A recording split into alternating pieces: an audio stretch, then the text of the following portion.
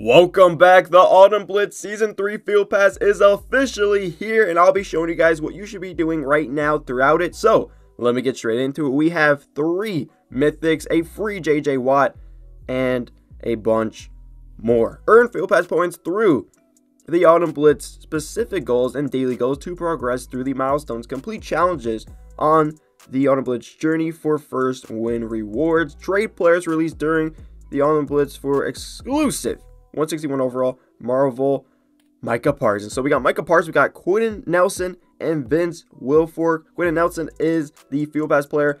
Vince Wilfork is the Journey player. And Micah Parsons is the main man himself, which you need six iconics for. And then, obviously, I think an epic or a couple rares and stuff, a mythic badge as well. So, yeah.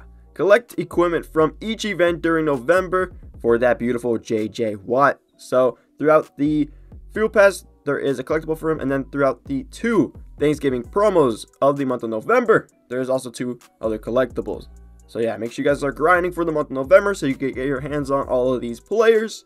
And also the Autumn Blitz Field Pass does end on the 4th at 10.30 a.m. Eastern. So let's get into it. Play now. Here we go. We got the Field Pass itself, or one mythic badge you get from the beginning, plus the pack. I'll take it. We got some coins, some cash, and then, you know, just got to keep on grinding my daily goals, and then we'll move up it. I'll go to the trade soon. If you guys grind throughout the journey and you're at a certain overall, which is 3,430, you guys can get an epic player select pack. If you're not at this overall, just boost, and then you guys will hit it to get this epic select, which is nice because then you can put it towards an iconic. Obviously, if your overall is not that high, you will luck out of certain rewards, like a lot of Madden cash and the Vince Wilfork. I'll be getting the Vince Wilfork. Stay tuned for that. I'll be claiming him in another video, which is nice. I am going to obviously, you know, get his mythic version because it's easier this time around because there is a mythic for the Journey player now, which is amazing. So I'll take that for sure.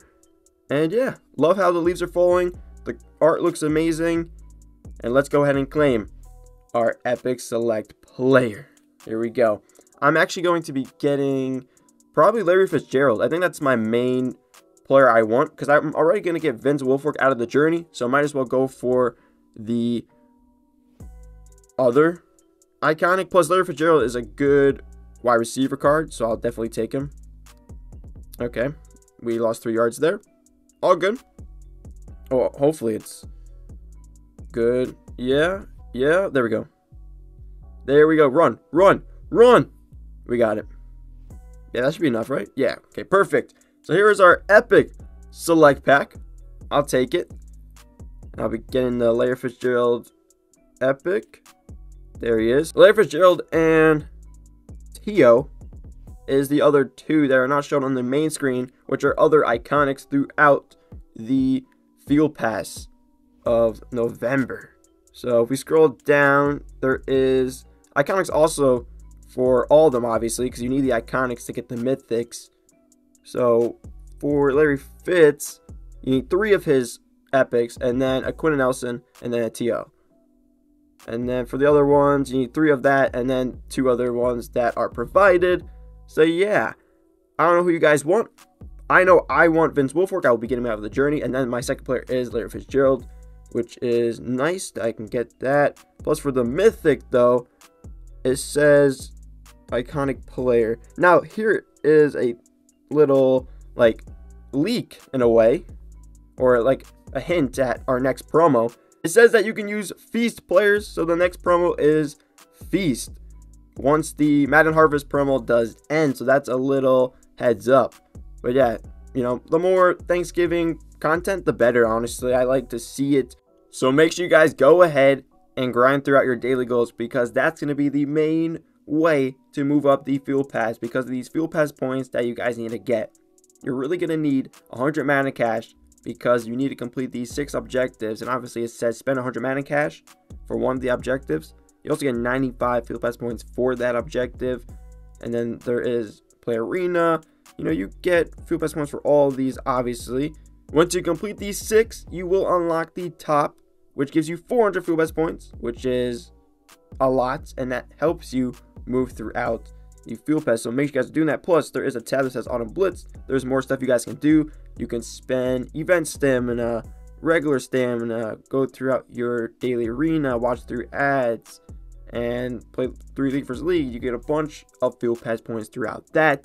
To then move throughout the Autumn Blitz field pass to get all of the rewards that are provided. Obviously, it gets a little bit better when you keep on going through. You can get the Autumn Blitz packs, which will help you a lot. And then just currencies in general that will help you throughout the game, which is always nice. The end goal is obviously the best because you will get your Gronk piece, a Madden pack, more Madden cash, a epic select, and an iconic player select.